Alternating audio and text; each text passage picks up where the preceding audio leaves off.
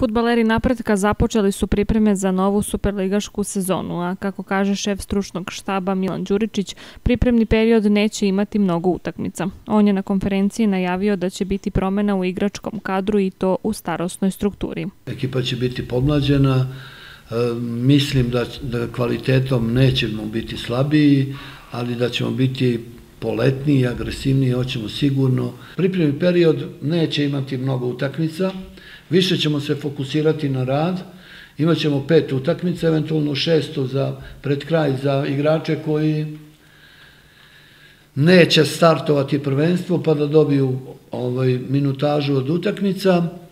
I birat ćemo protivnike, nećemo dozvoliti kao u Turskoj što je bilo da ono što nam daju, pa posle uđemo u neku seriju da ne postignemo gol, pa cele pripreme ne postignemo gol, pa krene prvenstvo, pa i tu ne postignemo, i onda dočekamo da tek u drugom kolu damo prvi gol od posle meseci nešto dana. Nećemo to dozvoliti.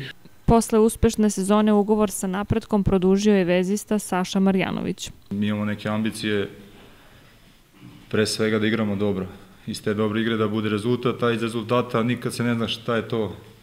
Da li sredina tabele, da li Evropa, da li vidjet ćemo. Jednostavno sad je, da kažem, iskraćena liga, bit će mnogo teže, bit će manje tih slabijih ekipa, tako da ima vremena, vidjet ćemo. Iz utakmice u utakmicu najbitnije da, ako Bog da, da se dobro spremimo, da bude, ako je moguće, da, da ne bude povreda i iz toga da se nadamo dobrom rezultatu.